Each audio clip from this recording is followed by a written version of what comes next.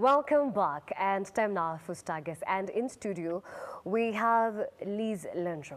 And in her own words she describes herself as uh, one person who's hopelessly in love with fashion and the fashion industry. And just if you didn't know her well she used she's a model actually and she's also an intellectual property lawyer as well as entertainment lawyer. So remember we told you if you have any questions pertaining to this area, kindly do share that with us. She'll be certain to be answering all of that. Welcome. Thank you very much. You're most welcome. All right, so let's just get right into it. The entertainment industry in the country, we could say, has relatively grown. Yes. And of course, there's so many areas that people remain ignorant to, and it so appears like it's on, on matters, you know, legal matters. How, how is this so? Uh, you know, for the longest time, our industry has sort of flourished in an informal manner. People do not have lawyers, people do not have, not have managers, so they tended to do a lot by themselves. And now when the African market has sort of opened up, and people realize, oh my goodness, there's an area called intellectual property law that I didn't know about. There's copyright, there's trademarks, there's industrial designs. What is that? Um, so now people have come to realize that they need to use it. Music was the first to start realizing in itself because we all love music. Music makes us happy. Uh, so people now realize there's copyright in music. That's how you protect your music.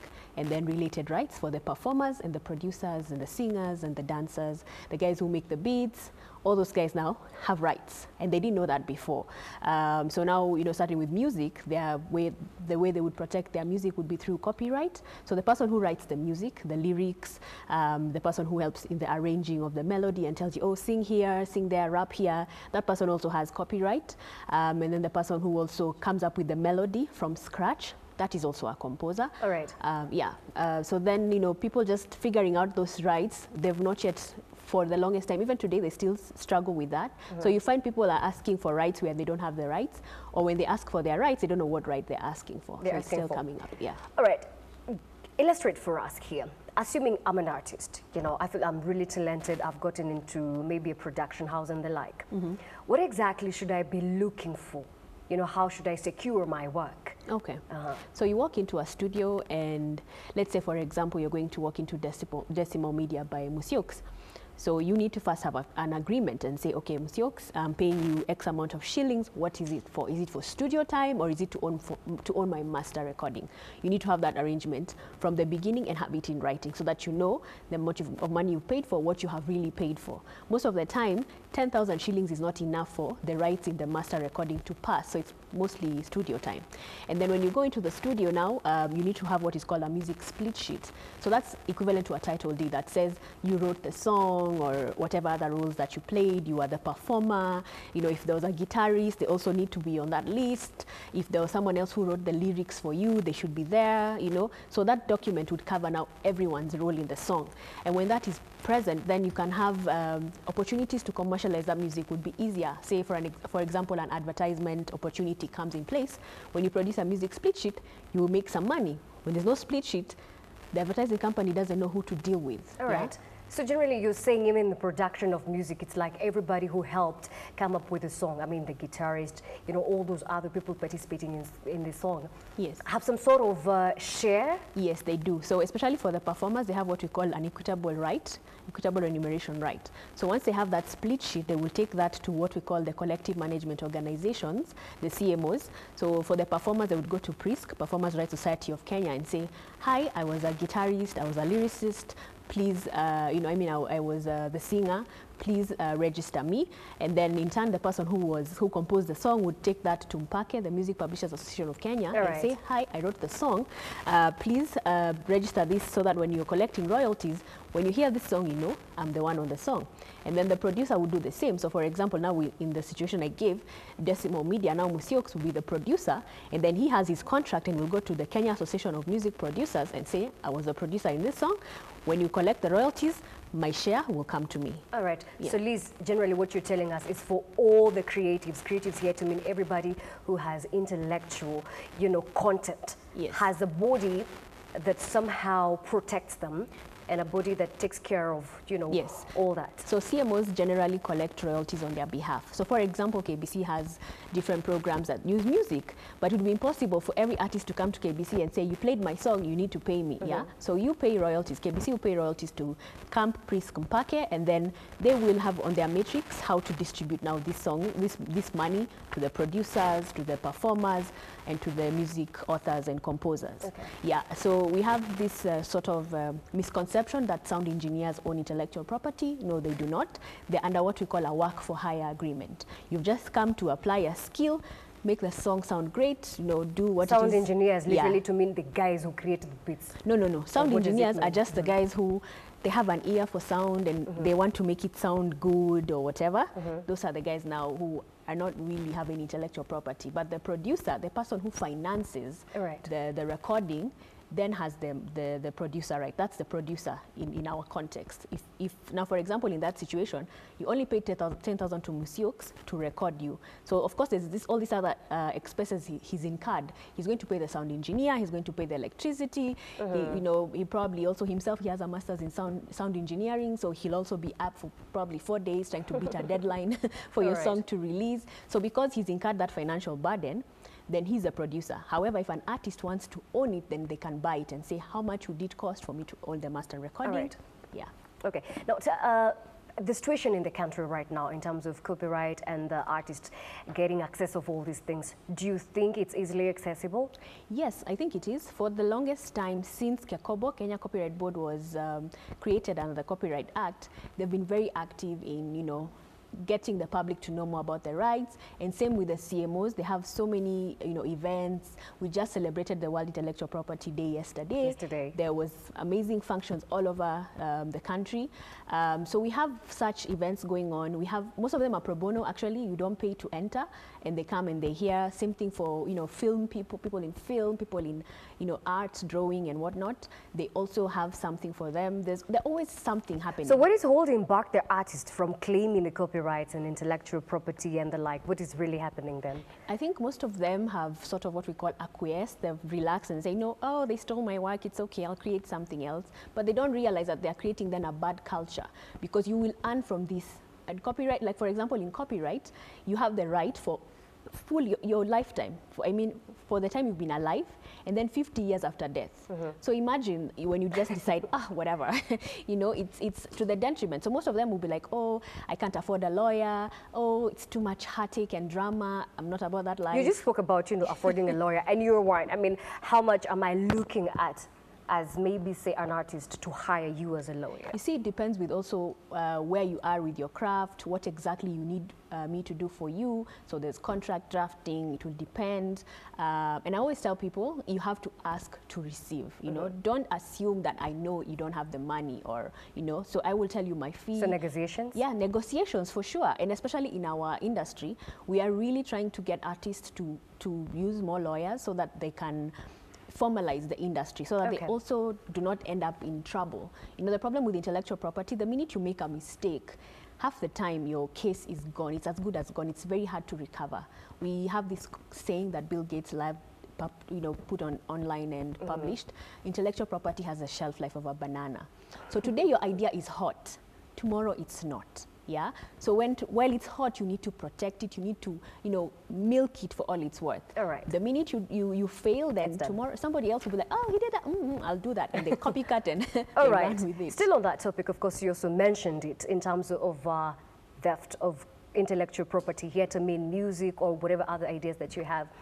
Um, we have seen, and especially currently, there's so many social media users. Maybe I start up a blog and maybe I'm, I'm, I'm using somebody's idea, or maybe say I use the music from maybe say an artist from the country, or even say do a cover, mm-hmm. you know, alimba hivi, but I think inaweza sound poa nikiimba hivi. Is that theft? What are the yes, consequences? So let me put it like this: I come to your house, and you're not home, and I check in and I stay in. You'll call the cops, right? Because I'm in your property. So it's the same thing with, with the intellectual property. It's proprietary rights. You cannot use anything that belongs to me without my permission. The Copyright Act is very clear. I have the right when I create something. It is my it is my right to decide how you will use it, when you will use it, the way you will use it. So if you want to do cover songs, you must get a right, uh, you know, a license from the author. Yeah, um, you know, if you want to use it on your social media platforms, you have to get. Wait, wait, wait, wait. Hold up, right there. Social media, especially because it is now very rampant. So, assuming I've just decided to put up something, maybe say on Instagram or even on Facebook. So we are right here, or we're having a party, and I have uh, maybe music playing, and maybe I'm, I'm, I'm, I'm, I'm giving a demo. If this music is playing in the background, have they stolen the music? Yes, because you see you've already interfered with their reproduction right. It's not yours to take from the beginning, then you've done that. Uh, our artists are yet to really understand that, but when you look at international artists, they've really actualized that. For example, there was a time um, a young boy used um, one of Usher's songs on a YouTube with the mom, and it was so cute. But Usher got it taken down because he was like, "That's my song. You need to have talked to me first before you put it online." So it was. It's, it's supposed to be. The, it's the same ethos. If it's a blog, I'm going to use a picture. Talk to the photographer first, then agree and say, "Oh, I'm a blogger. I don't have money, but this is how I want to use your picture. Can we work together?" Have it in writing. Tell me something here. Now, if maybe say you uploaded the music and you do what most people do, uh, maybe music courtesy of, uh, photography courtesy of, does, is that enough? It's not enough. Just Concept. giving credit is not enough. You've already interfered with the reproduction right again. So you have to talk to the author or the owner and say, oh, um, "Can I use your work?" If yes, then you know have something in writing, even an email, and you're okay to, to proceed. All right, and of course, now maybe just uh, trying to bring this matter closer to home. We've seen the local artists so many times do lines, so to speak, or lyrics from uh, maybe international artists. Uh, what exactly would be the legal consequence to such an artist? So as long as I hear a lyric and I can identify that this song is from Marvin Gaye or I don't know whichever artist, then I need to clear the rights. Yeah. So as long as there's that identification and I can tell that it's not yours, then it's very important that you clear with the with the owners of the song. You'd go either um, your people or the artist people go through the publishers. So like the American system, they have what we call publishers, music publishers. They handle their music business. So then they tend to be part of the copyright holder. So I would call maybe Universal Music Publishing and say, you know what, we want to use this song. What do you need from us? Blah blah blah, and then they will give you a right. contract. Yeah. So it's very important that they do that. Uh, we've, I guess, we've been lucky that no one has been sued yet. But I do know for a fact that Sauti Sol clears their songs. I, I know their lawyer, and they've been clearing their songs. So, and they've been trying to get also other artists to realize that to do the same to thing. do the same. Because All you know, tomorrow if Usher comes after you, can you afford Usher's net worth? You that, know. that kind of uh, financial consequence and the like. Yes. But now let, us then now get to the Kenya Film Classification Board. What, how, what do you feel about their role in creating awareness to artists and even growing the creative industry in the country? Well, KFCB has been very controversial. Um, and we've actually had a tweet, Twitter conversation today, and uh, I was just telling people that it's called the Kenya Classification Board, Kenya Film Classification. Before it used to be the Censorship Board. Then the act was changed, it was amended, and now their mandate has changed. So by virtue of them just going around to ban films that is not that's not within their mandate. In, in law we call it ultra vires. They're working outside their mandate. They're exercising power that they do not have. And it's ab- it's about time this artist now took it to court and applied for what we call a judicial review so that the high court or the court of appeal they can actually now say you know what kfcb shame on you. That's what you're supposed to be doing. You're supposed to be classifying. So uh-huh. that artists also know oh my video looks like this. I only have it played at 9 o'clock. The broadcasters also know oh Sauti Sol released a new song I don't know, Octopizzo released a new song, the, the video looks like this, it can only be played on our music shows after 9 o'clock because of X, Y, and Z. But to ban it, it definitely sends a wrong message to our artists. So they do not even commercialize back home. They will go to Europe or wherever, and that's where they will make money, and our children will grow up knowing that I can't express my art because it's immoral. But let's, let, let's, let's, let's get this right. What about maybe the issue of what you're talking about, morality?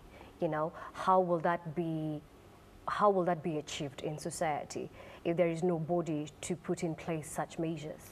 You see now the challenge has been um, we have now become life is dynamic, societies are dynamic.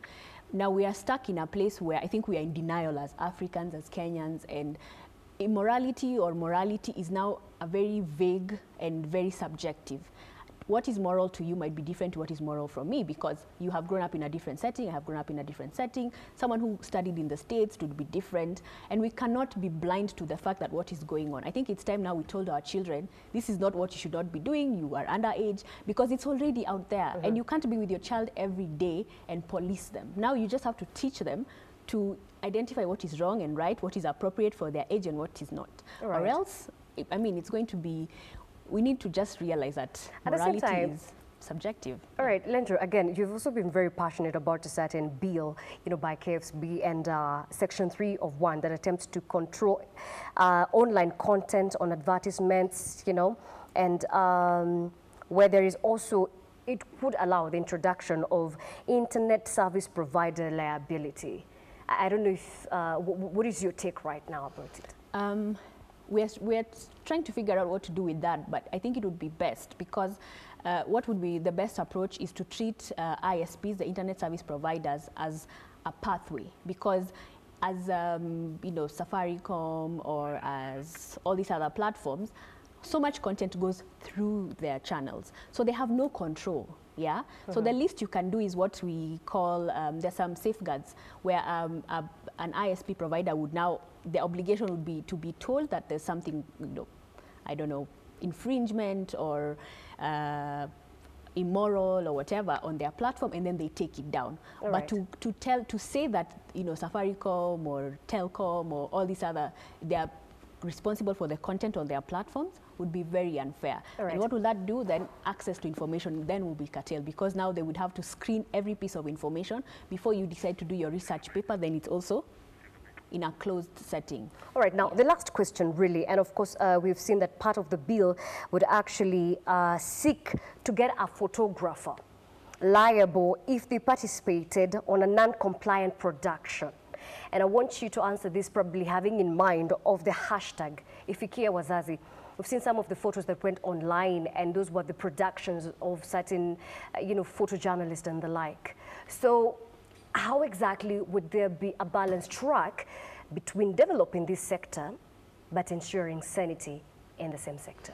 I think it's important for every person who plays a role in a particular setting to be responsible also for what they do. So do not rely on a production company and say, oh, I'm riding on their license, I do whatever they do. You also have a reputation at stake. At the end of the day, what the law says, whoever does the deed is responsible. So then you have to know what parameters in which the law can allow you to sort of um, operate. Mm -hmm. In the example of a photographer, if uh, it's not him who published the photos, and in this situation now in a production house, he's, he's definitely a work for hire. So everything that he creates, he gives off, uh, he gives over his rights. He only remains with what we call the moral right, photographed by Liz. That's all I remain with. Okay. But everything else is with the production house. How they use it, that's their problem. But now they leave the photographer out of it because he no longer is in control of the work that he's created. So it's important for people to understand their roles and their responsibilities. All right. And I bet you all agree there was quite a very informative piece right there by Liz Lenjo. Well, we pressed for time, but remember, such conversations do not end here. We also have our lifestyle segments on www.kbc.co.ke, also available on Instagram as KBC Digital. Kindly do follow up on that to get the latest on entertainment news and the like. You can also get Liz Lenjo on her platforms. We thank you so much for keeping us company in this segment. Up next, business.